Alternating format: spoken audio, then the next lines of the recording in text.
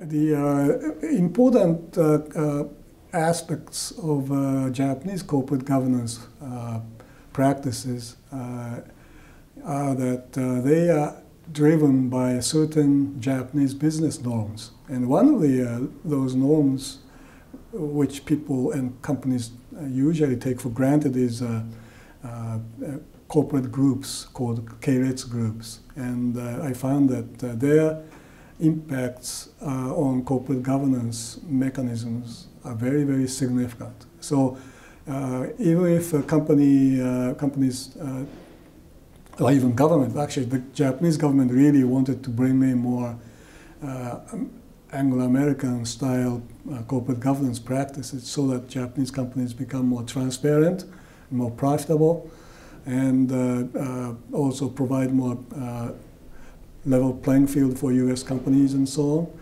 Uh, Japanese corporations uh, have been very uh, selective in adopting these uh, practice, U.S. style practices. For example, uh, to make their corporations more uh, efficient, one way to do it is to introduce more outside directors of the board. and, but Japanese new laws actually allow that to happen. So Japanese companies could do that, but they have been very uh, reluctant in introducing more outsiders in, in, into their boardroom. So it is really uh, that sort of thing. So it's uh, less transparency, and uh, uh, that comes from the uh, corporate groups primarily, their impacts. Yeah.